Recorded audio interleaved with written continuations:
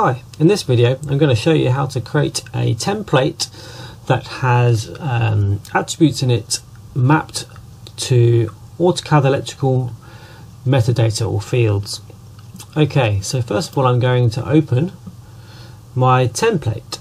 So you should know by now that a drawing template is a .dwt file type.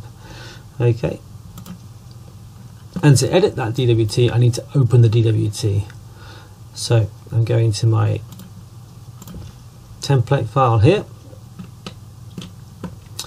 And then I'm going to just you can see that my title block or my border is currently a block. So I'm just going to type X for explode. So X is the shortcut for explode. Press enter. That's then exploded my title block so that it is geometry, lines, text and attributes.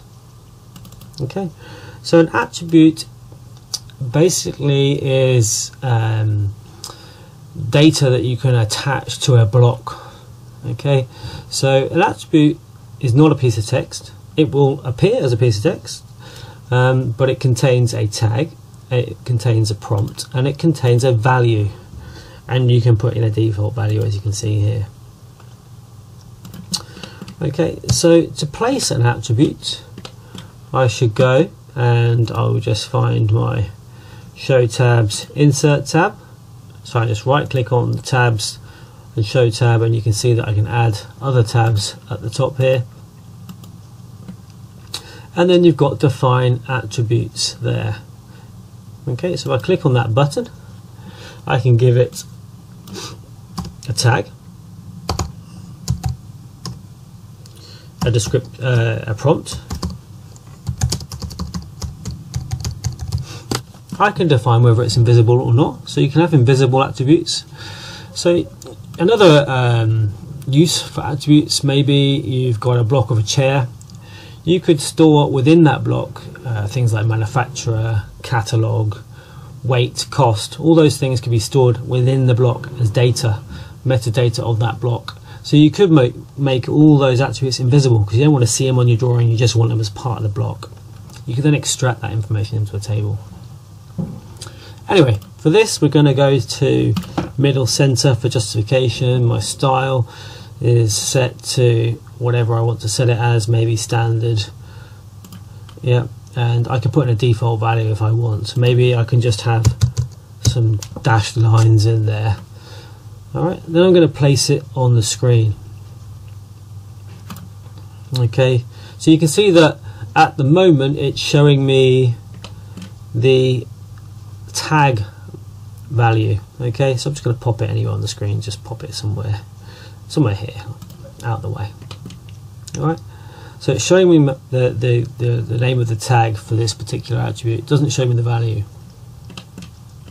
So once I've got all my attributes placed using the define attribute button, I then go to my schematic tab. Uh, no, sorry, my project tab. And then I go to title block setup. Okay. So I can click on title block setup now I use method 2, it's my preferred method. What this does is places a block and you can see I cancel that, the block down here or the attribute down here. And you can see there's a long string of text in that attribute for the default value. So I'm going to cancel that. So what I'm going to do is use that same method again, title block setup, method 2 WDTB attribute and go OK.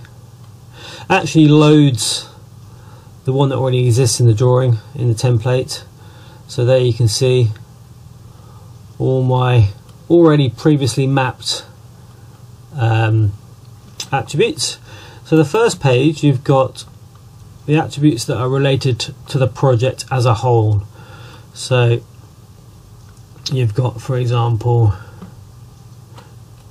part number, scale, project title, drawing number, revision. These all relate to the project as a whole. My second page, if I click drawing values, these are values that relate to just that drawing it's on its own. Okay, so you've got things like sheet number, drawing description and file name. Those are all unique properties for the drawing. So all I have to do is decide whether it's a drawing or a project value that I'm added that I'm uh, mapping and I can click pick here and then I can pick the attribute I want to map. So what I've done here is map the project value demo example to the attribute demo. So what that means is when I populate that project value, it will populate this attribute in return. Okay, so we'll click OK on that. Then I have to block my title border again. So I'm going to type block. It's the easiest way to do it for me. Press enter. Specify my template that I want to edit. All the other um, settings are okay for this instance. Click OK. It says there's an existing one and I'm going to um, yeah okay it doesn't see there's been a change that's because it's a attribute. So we're going to create a fresh one try that again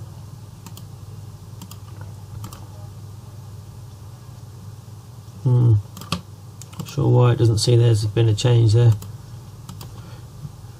Okay, so I'm going to create a fresh one.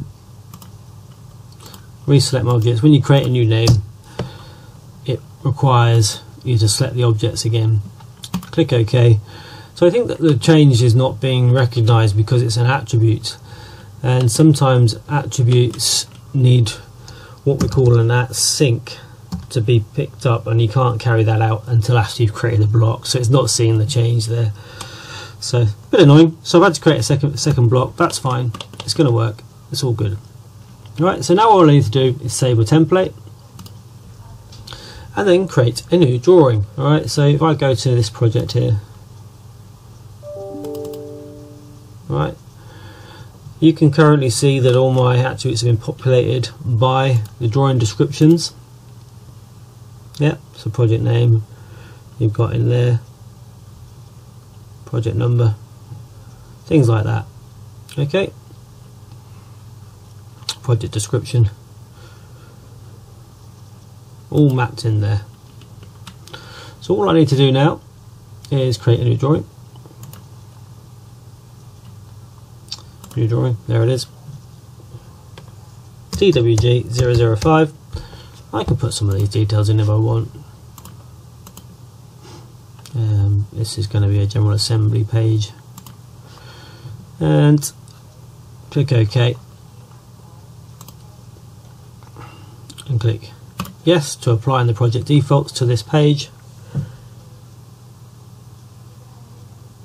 And you can see there that that attribute has been populated and if I right click go on my descriptions and then click across to the next page you can see demo example contains the word demo.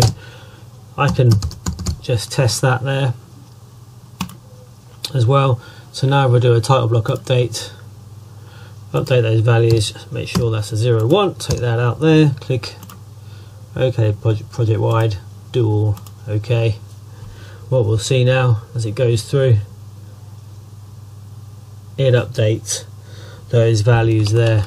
So thank you for watching and please feel free to contact Man and Machine if you have any questions. Cheers, bye.